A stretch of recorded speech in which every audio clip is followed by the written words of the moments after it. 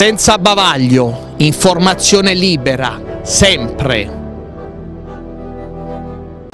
Fare informazione significa anche e soprattutto dire la verità, evidenziare ciò che non funziona proprio con il fine di eh, apportare migliorie a quelli che sono i disservizi e quando parliamo di disservizi, di malfunzionamento, beh, il pensiero va alla sanità.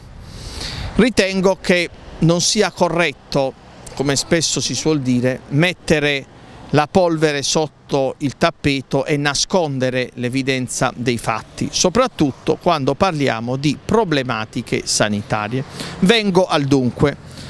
Siamo qui con il signor Girolamo Guercio, un cittadino di Taranto, il quale ci racconterà la sua storia sanitaria, quello che è successo, dove noi esprimiamo il nostro applauso ai medici, al personale sanitario in, genere, in, generale, però poi bisogna vedere anche le strutture proprio fisiche, le strutture che, eh, in cui gli operatori sanitari operano. E allora, Girolamo, raccontaci, ci hai so, sottolineato questa, questa, situazione, raccontaci tutto. Sì, eh, buonasera. Allora, signor Abbati, io l'ho chiamata soltanto per rimarcare questo fatto al di là di quello che lei ha detto, un plauso ai medici, ai due dottori che mi hanno operato a Grottaglie. Ecco, parliamo di una problematica dermatologica, presenza di cisti. Alla chirurgia plastica. Allora, prima la visita, ho passato la prima visita al padiglione Vinci. Del Santissimo Annunziato. Del Santissimo Annunziato. L'intervento l'ho subito a Grottaglie all'ospedale. Niente da dire sui due dottori, magnifici, è inutile fare propaganda perché sa, sarebbe superfluo farlo. No, ma è giusto eh, apprezzare questo, questi medici che fanno il proprio dovere in pieno? diciamo che hanno lavorato benissimo perché purtroppo erano grandi le cisti e sono stato due ore sotto i ferri, eh, la cicatrice è questa, per poter... Hanno dovuto scavare sì, diciamo. Sì, sì. Beh, una cinquantina di punti me le hanno messi. Allora, al momento poi lì è tutto a posto, torna a Taranto, dice ci vediamo venerdì per la visita, la prima visita al, al Santissimo Annunziato, sempre al Padiglione Vinci.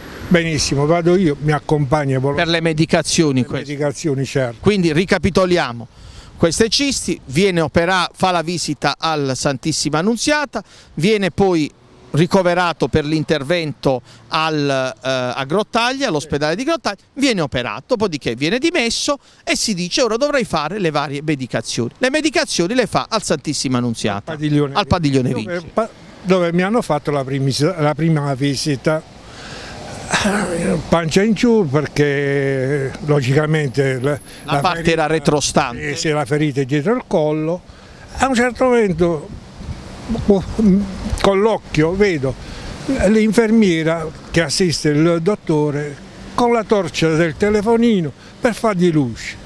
Mi è esagerato, ho detto prima che mette la mano, ma che sta succedendo? Ha fatto noi purtroppo operiamo in questa situazione. Quindi, quindi, io non conosco i termini tecnici, però in buona sostanza occorreva una lampada di quelle che si, che, scusi, che si usano nelle strutture sanitarie proprio per illuminare appieno la zona e quindi per vedere come ripulire, cosa ripulire, essendo appunto una medica, però si trova la torcia del cellulare. Sì, vedevo l'infermiera con una mano che teneva il telefonino, logicamente con la torcia accesa e con l'altra che passava eh, l'acqua ossigenata, eh, l'ovatta, eh, la, mi hanno tolto i drenaggi, la pinzetta per togliermi i drenaggi. E ho detto ma qua siamo nel terzo mondo, perché poi a ritroso vediamo che è una stanzetta di 3 metri quadri, questi non lo so, io inviterei qualcuno ad andare a vedere dove erano queste persone, cioè c'è un lettino, una scrivania, eh, eh, con l'armadietto con eh,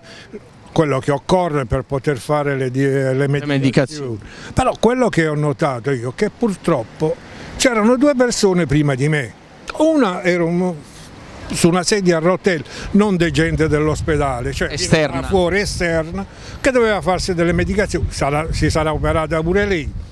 E poi l'altro purtroppo, purtroppo, dobbiamo dire purtroppo perché la realtà di Taranto è questa, c'era una bella signora senza capelli e cose che stava... Una paziente oncologica. Stava, ecco, bravissimo, logicamente sotto chemio, stava...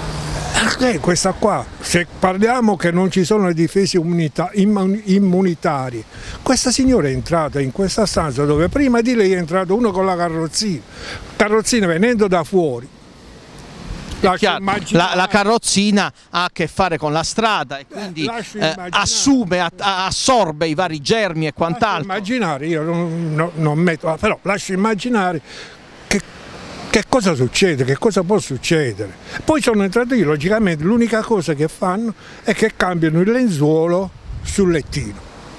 Noi operiamo in questo, ma insomma, io dico, un, un, dirigente sanitario non sa come operano questi signori della chirurgia plastica, in che situazioni li fanno operare. Non penso che in tutto l'ospedale non ci sia, può darsi pure che la stanza dove tengono le, quelli delle pulizie, le, gli stracci, le scoperte sia più grande dello stanzino dove questi signori sono costretti ad operare dalla mattina alla ecco. sera. Tanti pazienti che vanno perché purtroppo quindi, eh, subiscono una patologia. Quindi quando Girolamo hai evidenziato queste cose, queste, ehm, hai sottolineato queste difficoltà oggettive esistenti ai medici, ai medici, i medici giustamente hanno detto io, questo passa il convento in buona sostanza. E allora mi sono permesso di chiamarla per evidenziare questo fatto. Ma un dirigente sanitario a Taranto sa in che condizioni lavorano questi? O è superfluo questa situazione? Dici tanto la chirurgia plastica a che serve, però non mi sembra che serve in quanto operano anche su persone che sotto chemio non penso che sia una struttura no, al di là di tutto comunque di tutto, si fanno no? gli interventi non è che si fanno per appunto, gioco appunto, o, fatti alla belle e meglio ma se poi li facciamo stare in questa situazione di intervento a lavorare beh, allora tutto quel lato positivo viene a cadere eh, non per i dottori, eh, per l'amore del cielo. Noi, Io li ammiro questi dottori. Perché... Il, I medici, il personale infermieristico merita il massimo rispetto, tant'è vero che mi pare anche che l'intervento, grazie a Dio, sia stato, sia stato fatto bene. Io venerdì devo ritornarci perché mi devono togliere i ponti e devo ritornare dove? La chirurgia plastica, non, plastica, non so se lei è al corrente, si trova al padiglione Vinci, al primo piano, dove c'è la mammografia, dove sono tutte donne. Centro donne, centro donne. Anche incinte che, che devono sopperire alla loro situazione. Ed è uno stanzino, ti ripeto, di 3-4 metri quadri, ma è un bugicattolo. Può essere che non c'è una stanza idonea, atta per questa Ma la cosa pratica. che più mi sconvolge, oltre a questo che è un fatto gravissimo, è proprio la questione della mancanza della lampada.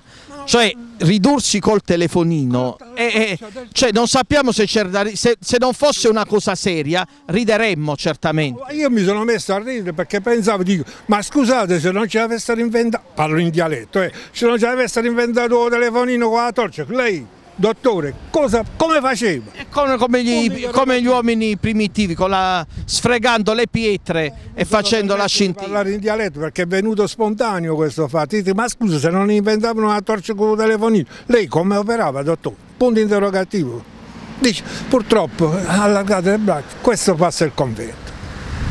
E allora, Girolamo, intanto noi ti ringraziamo perché eh, questi casi non sono un qualcosa di eh, legato al singolo, alla singola persona, perché quello che ha subito Girolamo, le condizioni, l'ha subito la paziente sottoposta a chemio, che è un fatto ancora più, più, grave. Allora vedere già una città come Taranto maledetta dall'Ilva e dall'inquinamento, a, a queste disgrazie si devono aggiungere questi disservizi che incidono a livello di sicurezza sanitaria. Ma al di là di questo, dico, è possibile che nel 2018, non 19, 19 fra poco, ecco, non, non, non si sia capaci di avere una un, un, una, un, uno strumento atto a illuminare, non so, ripeto, la terminologia tecnica. idonea, anche una stanza idonea, perché per poter entrare questo col carrozzino, abbiamo sentito noi il rumore da fuori, hanno spostato il lettino e la scrivania. Alla faccia delle barriere architettoniche. Dell'abbattimento delle barriere architettoniche. Entrava, lo spazio è minimo in questa stanza. Io ribadisco questi, questi stanno in una stanza di tre metri qua, questa col carrozzino, hanno spostato il lettino e la scrivania per poterla fare entrare. Allora, io anche io, questo è da dire. Ecco, Girolamo, io ti dico questo, Dicevo, non è un fatto che riguarda la persona, ma riguarda ciascuno di noi, perché tutti sotto il cielo stiamo e tutti possiamo incappare in una situazione del genere.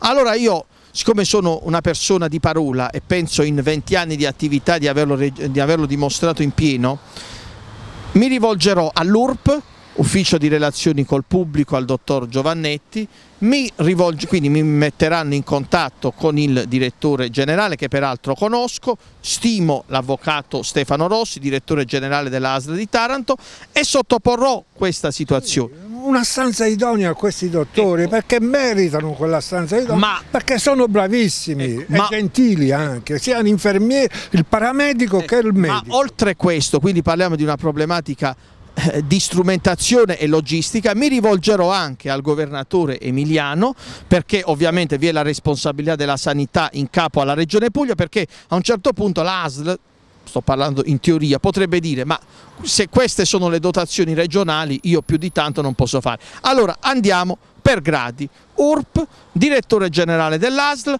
governatore della regione Puglia e così avremo un quadro completo eh, perché, ripeto, questo episodio eh, non abbia più a ripetersi, perché ripeto, non è un fatto e non è un, un caso di ma mala sanità, assolutamente, ma è una, un problema proprio oggettivo di, di, di, strumentazione, di organizzazione fisica, logistica, logistica, logistica bene, che, che, continuerà a, a, a, perpetrarsi, a perpetrarsi in eterno sino a che ovviamente noi non eh, porremo un freno. E con questa intervista abbiamo cercato di eh, illuminare senza la torcia ma con la, con, eh, la, la torcia dell'intelligenza perché viva Dio, lavorare con il, con il cellulare, immaginate l'infermiere che deve illuminare e fare la medicazione. E contemporaneamente passava l'acqua ossigenata, le pinzette perché ripeto mi hanno tolto il drenaggio, la disinfettazione della ferita praticamente. Quindi questo accaduto al, eh, nel, nel